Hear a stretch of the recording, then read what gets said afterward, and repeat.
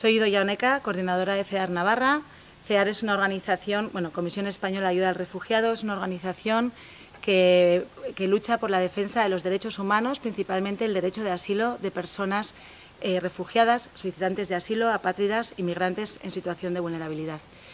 En Navarra llevamos trabajando desde, enero de este año con un programa de acogida con 50 plazas, pero a nivel estatal llevamos trabajando pues, desde el año 79. Trabajamos mucho en incidencia porque queremos conseguir una, ciudad, una ciudadanía crítica y una sociedad acogida integradora.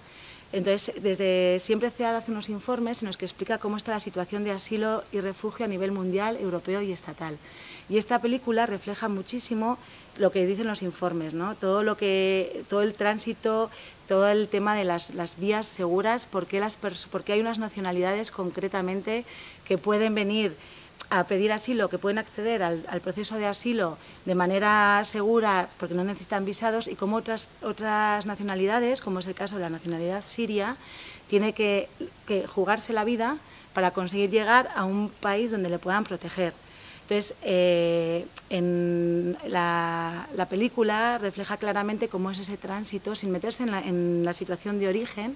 pero cómo es después de lo que hemos sufrido, cómo es ese tránsito de incertidumbre, de persecución, de miedo, incluso de muerte que se ve, para, poder para acabar en un país en el que te van tampoco te dejan salir que no es el país donde quieres estar y donde no te van a proteger tampoco ¿no? hemos, hemos ido viendo un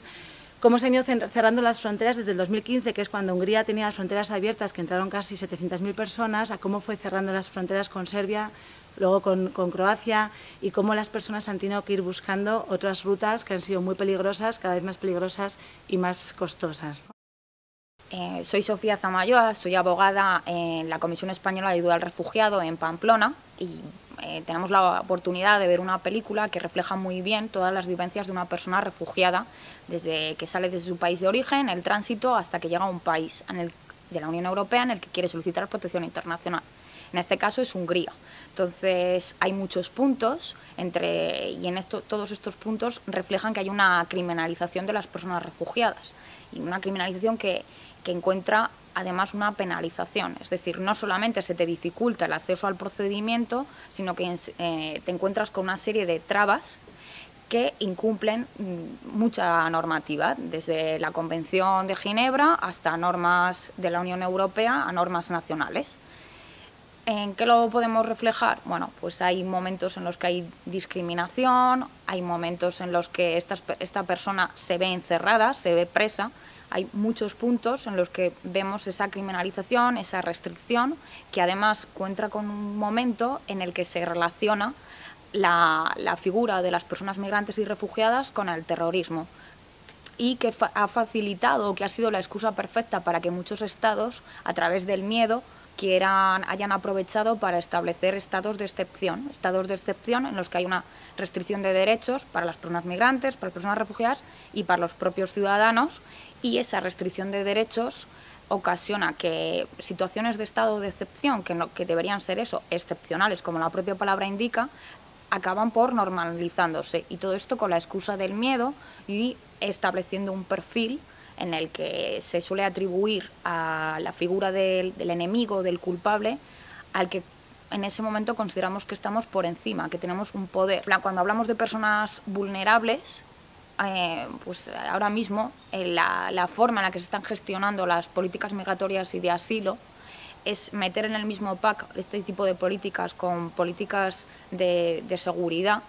hacen que personas que deberían tener una serie de derechos, en vez de derechos, están teniendo unas restricciones. Entonces hay, una, hay un debilitamiento del Estado de Derecho en general y de la democracia. Hola, soy Beatriz Ortega, soy técnica en CEAR Navarra en el área de inclusión.